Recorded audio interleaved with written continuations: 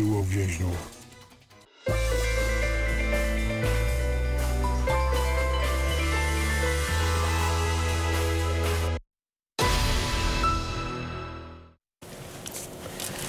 Widzą Państwo napis pilny e, na antenie Polsat News. Mamy godzinę 3.57 minut. Witamy Państwa, to będziemy mieli wydanie specjalne, jak wszystko wskazuje, nowego dnia z Polsat News.